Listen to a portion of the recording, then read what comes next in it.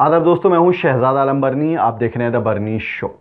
आज हम अपने शो में जो मुद्दा लेकर के आए हैं, वो मुद्दा निजी स्कूलों द्वारा वसूली की जा रही फ़ीस से जुड़ा हुआ है। जो स्कूल पिछले काफ़ी दिनों से बंद पड़े हुए हैं। खासतौर से मार्च से जब से लॉकडाउन की शुरुआत हुई है, तब से सभी स्कूल देश भर के बंद है। प्राइवेट स्कूल भी पूरी तरह बंद है, सरकारी स्कूल भी पूरी तरह बंद है अनलॉक की शुरुआत हो चुकी है, लेकिन स्कूल अभी भी नहीं खुले। कुछ जगह पर इस साल ऑनलाइन प्रक्रिया शुरू हो सकती है, लेकिन पहले जो स्कूल थे, जो पहली जो कक्षाएँ थी, उनमें बच्चों को डायरेक्ट प्रमोट कर दिया गया बिना किसी एग्ज़ाम के, बिना किसी पढ़ाई लिखाई के। अब सवाल ये उठता है कि क्या अभिभावकों से, यानी कि जो पेरेंट्स हैं, क्या उनसे फ़ीस वसूली जा सकती है? इसको लेकर के कई सारे प्रदेश में आंदोलन भी चले, कई सारी जगह पर अभिभावकों ने जो है बाकायदा मांग भी की कि सरकार जो है फ़ीस को माफ़ी दे। लेकिन इसका मामला पूरा पहुँच गया था गुजरात का ये मामला, जहाँ पर अब एक बड़ी खबर आई है गुजरात से। गुजरात हाई कोर्ट में जब ये मामला पहुँचा, अभिभावकों ने बाकायदा पीआईएल दर्ज कर दिया हाई कोर्ट में और हाई कोर्ट ने गुजरात सरकार को निर्देशित कर दिया इस मामले में। तो अब गुजरात सरकार ने एक नया आदेश जारी कर दिया है। आदेश में दो चीज़ों का खास तौर से ज़िक्र किया गया है। जो निर्देश जारी किए गए हैं सभी प्राइवेट स्कूल्स को, उसमें पहली बात कही गई है कि जब तक स्कूल नहीं खुलते, तब तक छात्रों से फ़ीस नहीं लेंगे स्कूल।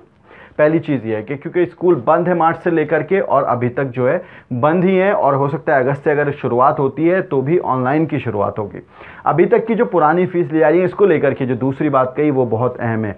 उसमें कहा गया है कि जब से फ़ीस ले ली गई है जिन लोगों से, जो फ़ीस ली गई है जब से, उस फ़ीस को या तो वापस दिया जाएगा या फिर उस फ़ीस को अगले महीनों में एडजस्ट करना पड़ेगा और एडजस्ट करने के अलावा कोई चारा नहीं है। और अगर कोई भी स्कूल किसी भी अभिभावक पर या पेरेंट पर या गार्जियन पर किसी पर भी अगर कोई दबाव बनाता है फ़ीस के लिए तो उस पर ज़िलाधिकारी और ज़िले के जो अधिकारी बाकी लोग हैं, वो उस पर सख्त कार्रवाई कर सकते हैं। तो सवाल ये उठता है कि निजी स्कूलों ने जो फ़ीस वसूली है पिछले दिनों में, वो फ़ीस आगे एडजस्ट होगी और जब तक स्कूल नहीं खुल जाते हैं, तब तक किसी पर भी कोई ज़ोर ज़बरदस्ती नहीं की जा सकती है फ़ीस को लेकर के। अब ऐसे में सवाल ये उठता है कि आप इसको किस तरह से देखते हैं? क्या वाकई में सभी राज्यों में, क्या सरकारों को सभी राज्यों में ये फैसला ले लेना चाहिए? क्योंकि मार्च से लेकर के जिस तरह से लोगों की नौकरियाँ छूटी हैं, बिज़नेस बर्बाद हुए हैं, उसके बाद अब सवाल ये उठता है कि क्या इस तरह से फ़ीस भर पाएँगे लोग और वो भी प्राइवेट स्कूल्स की फ़ीस जो अपने आप में जेब को काट देती हैं?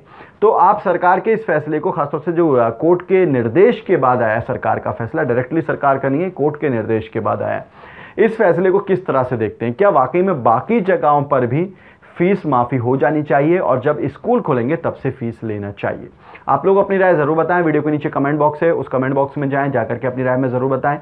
आज के इस एपिसोड में इतना ही। हमारी आपसे रिक्वेस्ट है कि इस वीडियो को शेयर ज़रूर करें और हमारे चैनल को सब्सक्राइब ज़रूर करें और आप हमें सोशल मीडिया पर, यानी कि इंस्टा, ट्विटर और फेसबुक पर फॉलो करने के लिए वीडियो के नीचे जो लिंक्स दिए हुए हैं, उन लिंक्स पर जाकर के आप हमें सोशल मीडिया पर फॉलो कर सकते हैं। बहुत बहुत शुक्रिया।